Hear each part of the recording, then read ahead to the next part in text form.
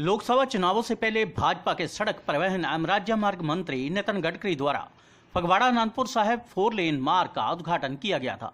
कांग्रेस कार्यकर्ताओं का कहना है कि चुनाव होने के बाद भाजपा सरकार ने इस फोर लेन मार्ग के प्रोजेक्ट को कैंसिल कर दिया। आज इसी के संदर्भ में कांग्रेस कार्यकर्ताओं ने प्रदेश कांग्रेस प्रवक्ता निमिषा मेहता के नेतृत्व में होशियारपुर के सांसद सोम प्रकाश के फगवाड़ा स्थित आवास पर धरना प्रदर्शन किया और केंद्र सरकार पर झूठ बोलकर चुनाव लड़ने का आरोप भी लगाए। उन्होंने कहा कि इसी मार्ग से श्रद्धालु अनंतपुर साहब जाते हैं इस प्रोजेक्ट को कैंसिल करके केंद्र सरकार ने सिखों की भावनाओं को ठेस पहुंचाई है ब्यूरो फिर अचानक न्यूज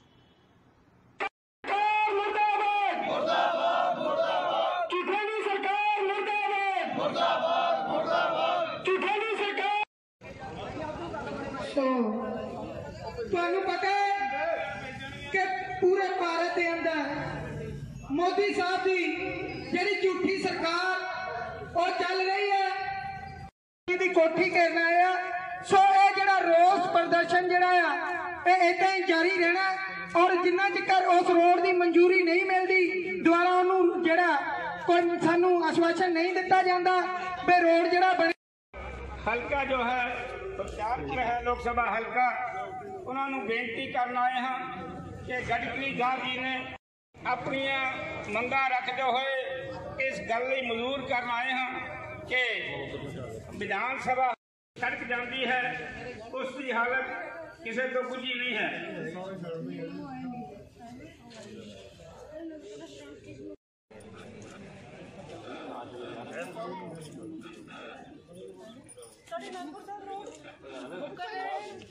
ਕਾਲੀ ਭਾਜਪਾ ਹਾਏ ਹਾਏ ਕਾਲੀ ਭਾਜਪਾ ਹਾਏ ਹਾਏ ਕਾਲੀ ਭਾਜਪਾ ਹਾਏ ਹਾਏ ਕਾਲੀ ਭਾਜਪਾ ਮੈਂ ਕਾਂਗਰਸ ਵੱਲੋਂ ਔਰ ਕੇਂਦਰੀ ਮੰਤਰੀ ਦੇ ਜਿਹੜੇ ਰਾਜ ਮੰਤਰੀ ਉਹਨਾਂ ਦੇ ਅੱਜ ਘਰ ਨੂੰ ਤੁਸੀਂ ਘੇਰਿਆ ਕੀ ਮਾਮਲਾ ਹੈ?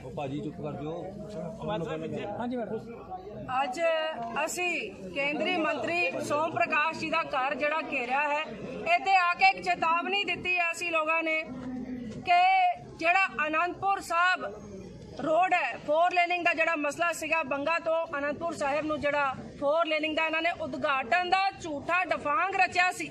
ਉਹਦੀ ਇੱਕ ਤੇ ਪੋਲ ਖੋਲੀ ਹੈ।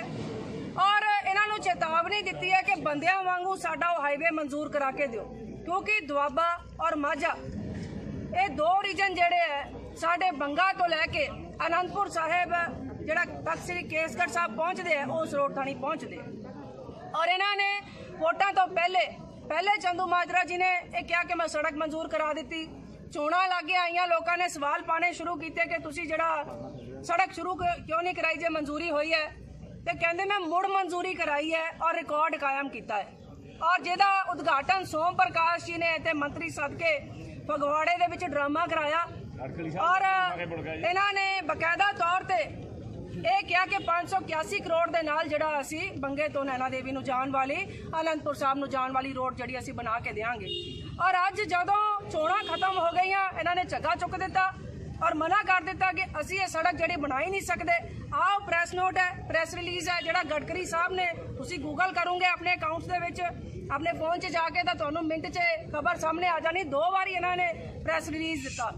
ਔਰ ਚਾਂਗਰਾ ਮਾਰੀਆਂ ਸਾਰੀ ਕਾਲੀ ਦਲ ਨੇ, ਔਰ ਇਹਨਾਂ ਨੇ ਭਾਜਪਾ ਵਾਲਿਆਂ ਨੇ, ਔਰ ਅੱਜ ਜਿਹੜਾ ਇਹਨਾਂ ਨੇ ਪੰਜਾਬੀਆਂ ਦੀ ਪਿੱਠ 'ਚ ਚੁਰਾ ਮਾਰਿਆ, ਸ਼ਰਧਾਲੂਆਂ ਦੀ ਪਿੱਠ 'ਚ ਚੁਰਾ ਮਾਰਿਆ।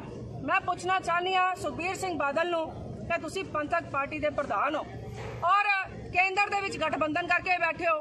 ਕਿਉਂ ਤੁਸੀਂ ਇਸਤੀਫਾ ਨਹੀਂ ਦਿੰਦੇ? ਦਸਵੇਂ ਗੁਰੂ ਦੇ ਜਿਹੜਾ ਤਖਤ ਸ੍ਰੀ ਕੇਸਗੜ੍ਹ ਸਾਹਿਬ, ਜਿੱਥੇ ਖਾਲਸੇ ਦੀ ਸਾਜਨਾ ਕੀਤੀ, ਇੰਨੀ ਔਖੀ ਹੁੰਦੀ ਹੈ ਦੁਨੀਆ ਹੋਲੇ ਮਹੱਲੇ ਤੇ ਔਰ ਵਿਸਾਖੀ ਦੇ ਮੇਲੇ ਤੇ। ਔਰ ਮਾਝੇ ਦੁਆਬੇ ਦੀ ਸਾਰੀ ਸੰਗਤ ਉਸ ਰਸਤੇ ਤਾਂ ਨਹੀਂ ਜਾਂਦੀ ਹੈ। ਔਰ ਤੁਸੀਂ ਉਹ ਮਾਰਗ ਪਾਪੀਓ ਜਿਹੜਾ ਕੈਨਸਲ ਕਰਵਾ ਦਿੱਤਾ ਆਪਣੇ ਗੜਕਰੀ ਤੋਂ ਕਿ ਸਿਰਫ ਤੁਹਾਡਾ ਉੱਥੇ ਐਮਪੀ ਹਾਰ ਗਿਆ। ਔਰ ਮੈਂ ਸਮਝਦੀ ਹਾਂ ਕਿਉਂਕਿ ਤੁਸੀਂ ਝੂਠਾ ਉਦਘਾਟਨ ਕੀਤਾ ਸੱਚੇ ਪਾਤਸ਼ਾਹ ਨੇ ਤੁਹਾਡੇ ਐਮਪੀ ਨੂੰ ਵੀ ਸਜ਼ਾ ਦਿੱਤੀ ਔਰ ਅੱਜ ਇਸੇ ਕਰਕੇ ਚੰਦੂ ਕਿਤੇ ਲੱਭਿਆ ਨਹੀਂ ਹੈਗਾ। ਮੈਡਮ ਗੱਲ ਹੋਈ ਤੁਹਾਡੀ ਉਹਨਾਂ ਨਾਲ ਵੀ ਕੀ ਕਰਿਆ ਜਾਊਗਾ ਇਹਦੇ ਤੇ ਕੋਈ ਪ੍ਰੋਸੈਸ ਚਲਾਇਆ ਜਾਊਗਾ ਨਹੀਂ ਇਹਦੇ ਉੱਤੇ ਜੀ ਬਿਲਕੁਲ ਇਸ ਤਰ੍ਹਾਂ ਹੈ ਕਿ ਸਾਡੇ ਸੀਐਮ ਸਾਹਿਬ ਨੇ ਤਾਂ ਪੰਜਾਬੀਆਂ ਦਾ ਜਿਹੜਾ ਦੁੱਖ ਉਹ ਸਹਾਰ ਨਹੀਂ ਸਕਦੇ ਪੰਜਾਬੀਆਂ ਦਾ ਦੁੱਖ ਨਹੀਂ ਦੇਖ ਸਕਦੇ ਪੰਜਾਬੀਆਂ ਨੂੰ ਦੁਖੀ ਹੁੰਦਿਆਂ ਨਹੀਂ ਦੇਖ ਸਕਦੇ। ਇਸ ਕਰਕੇ ਸੀਐਮ ਸਾਹਿਬ ਨੇ ਪਹਿਲ ਦੇ ਆਧਾਰ ਦੇ ਉੱਤੇ 3 ਜੂਨ ਨੂੰ ਅ, 3 ਮਈ ਨੂੰ ਜਿਹੜਾ ਚਿੱਠੀ ਲਿਖੀ ਸੀਗੀ ਇਹਨਾਂ ਨੇ 3 ਜੂਨ ਨੂੰ ਚਿੱਠੀ ਲਿਖੀ ਸੀਗੀ ਸ਼੍ਰੀ ਮਨੀਸ਼ ਤਿਵਾੜੀ ਜੀ ਨੇ। ਅ, ਸਾਡੇ ਸੀਐਮ ਸਾਹਿਬ ਨੂੰ ਔਰ ਵਿਜੇ ਇੰਦਰ ਸਿੰਗਲਾ ਜੀ ਨੂੰ ਔਰ ਸੀਐਮ ਸਾਹਿਬ ਨੇ ਜਿਹੜਾ 25 ਕਰੋੜ ਰੁਪਏ ਇਸ ਕੰਮ ਲਈ ਐਲੋਕੇਟ ਕਰ ਦਿੱਤਾ ਹੈ। ਔਰ ਉਹ ਸੜਕ ਜਿਹੜੀ ਹੈ ਬੜੀ ਜਲਦੀ ਉਹਦੀ ਟੋਟਲ ਰਿਪੇਅਰ ਸ਼ੁਰੂ ਹੋ ਰਹੀ ਹੈ ਟੈਂਡਰ ਲੱਗ ਚੁੱਕਾ ਹੈਗਾ। ਔਰ ਪਰ ਗੱਲ ਤੇ ਅਫਸੋਸ ਤੇ ਇਸ ਗੱਲ ਦਾ ਹੈ ਕਿ ਇਹਨਾਂ ਨੇ ਪਹਿਲੇ ਉਦਘਾਟਨ ਕੀਤਾ ਕਿ ਭਾਰਤ ਦੇ ਸਿੰਘਾਸਨ ਦੇ ਉੱਤੇ ਬੈਠ ਕੇ ਮੰਤਰੀ ਦੇ ਸਿੰਘਾਸਨ ਤੇ ਬੈਠ ਕੇ ਕੀ ਲੋਕੀ ਝੂਠ ਬੋਲਿਆ ਕਰਦੇ ਆ? ਕੀ ਜਿਹੜੇ ਇਹੋ ਜਿਹੇ ਉਦਘਾਟਨ ਕੀਤੇ ਜਾਂਦੇ ਆ ਕਿ ਉਹ ਝੂਠ ਸਮਝਿਆ ਜਾਇਆ ਕਰੇ? ਸੈਂਟਰ ਗਵਰਨਮੈਂਟ ਦੀ ਸੜਕ ਨੂੰ ਹੁਣ ਸਟੇਟ ਗਵਰਨਮੈਂਟ ਬਣਾ ਰਹੀ ਹੈ ਤੁਹਾਡੇ ਮੁਤਾਬਿਕ? ਇਹ ਉਹ ਕਹਿੰਦੇ ਨੇ ਜੀ ਅਸੀਂ ਸੈਂਟਰ ਗਵਰਨਮੈਂਟ ਨੇ ਲੈਣੀ ਹੀ ਨਹੀਂ। ਉਹਨਾਂ ਨੇ ਜਵਾਬ ਹੀ ਦਿੱਤਾ ਝੱਗਾ ਹੀ ਚੱਕਤਾ। ਪਹਿਲੇ ਉਹਨਾਂ ਨੇ ਉਦਘਾਟਨ ਕਰ ਦਿੱਤਾ। ਦੋ ਵਾਰੀ ਕਹਿ ਦਿੱਤਾ ਅਸੀਂ ਮਨਜ਼ੂਰੀ ਦੇ ਦਿੱਤੀ। ਔਰ ਮਨਜ਼ੂਰੀ ਉਹਨਾਂ ਨੇ ਦੇਣ ਤੋਂ ਬਾਅਦ ਅੱਜ ਜਿਹੜਾ ਉਹ ਕੰਮ ਸਾਰਾ ਰੱਦ ਕਰ ਦਿੱਤਾ ਔਰ ਕਹਿ ਦਿੱਤਾ ਇਹ ਸਟੇਟ ਹਾਈਵੇ ਰਹੂਗਾ। ਤੁਸੀਂ ਕਿੰਨਾ ਸਮਾਂ ਦੇ ਰਹੇ ਹੋ? ਅਸੀਂ ਕੇਂਦਰ ਇੱਕ ਸਰਕਾਰ ਮਹੀ- ਨੂੰ। ਇੱਕ ਇੱਕ ਮਹੀਨੇ ਦਾ ਇਹਨਾਂ ਨੂੰ ਹਲੇ ਚੇਤਾਵਨੀ ਦੇ ਕੇ ਚੱਲੇ ਕਿ ਸਾਨੂੰ ਕੰਕਰੀਟ ਜਵਾਬ ਲਿਆ ਕੇ ਦਿਓ ਔਰ ਸਾਨੂੰ ਹਾਂ ਚਾਹੀਦੀ ਹੈ ਇਸ ਮਸਲੇ ਦੇ ਉੱਤੇ ਕਿਉਂਕਿ ਸਾਰੇ ਸਿੱਖ ਸ਼ਰਧਾਲੂ ਹਿੰਦੂ ਸ਼ਰਧਾਲੂ ਜਿਹੜੇ ਨੈਣਾ ਦੇਵੀ ਨੂੰ ਜਾਂਦੇ ਨੇ ਔਰ ਸਿੱਖ ਸ਼ਰਧਾਲੂ ਜਿਹੜੇ ਸ਼੍ਰੀ ਅਨੰਦਪੁਰ ਸਾਹਿਬ ਨੂੰ ਜਾਂਦੇ ਨੇ ਤਖਤ ਸ਼੍ਰੀ ਕੇਸਗੜ੍ਹ ਸਾਹਿਬ ਨੂੰ ਜਾਂਦੇ ਨੇ ਉਹਨਾਂ ਦੀਆਂ ਭਾਵਨਾਵਾਂ ਆਹਤ ਕਰਾਈਆਂ ਨੇ। ਇਹ ਅਕਾਲੀ ਭਾਜਪਾ ਦੇ ਜਿਹੜੇ ਕਰਿੰਦੇ ਹੈਗੇ ਆ ਇਹਨਾਂ ਨੇ ਪਾਪ ਕਮਾਇਆ ਹੈ ਸ਼ਰਧਾਲੂਆਂ ਦੇ ਨਾਲ। ਅਗਰ ਤੁਹਾਡੀ ਆਵਾਜ਼ ਨੂੰ ਨਹੀਂ ਮੰਨਦੇ ਤਾਂ ਕੀ ਕਰੋਗੇ? ਅਸੀਂ ਪ੍ਰੋਟੈਸਟ ਕਰਾਂਗੇ ਤੁਹਾਡੇ ਸਾਹਮਣੇ ਹੋਣਾ ਤੁਸੀਂ ਨਾਲ ਹੀ ਹੋਣਾ ਦੇਖਣਾ ਤੁਸੀਂ ਏਦਾਂ ਹੀ ਕਵਰੇਜ ਕਰਨੀ ਹੈ। ਇਹਨਾਂ ਨੂੰ ਜੇ ਅਸੀਂ ਬਖਸ਼ ਦਿਆਂਗੇ ਤਾਂ ਤੁਸੀਂ ਕਹਿ ਦਿਓ ਪੰਜਾਬ ਦੀ ਜਨਤਾ ਨਹੀਂ ਬਖਸ਼ੂਗੀ ਇਹਨਾਂ ਨੂੰ। ਅੱਗਾ ਜਾ ਕੇ ਦਿੱਲੀ ਜਾ ਕੇ ਮੋਦੀ ਸਾਹਿਬ ਦੀ ਕੋਠੀ ਵੀ ਢਾ ਦੇ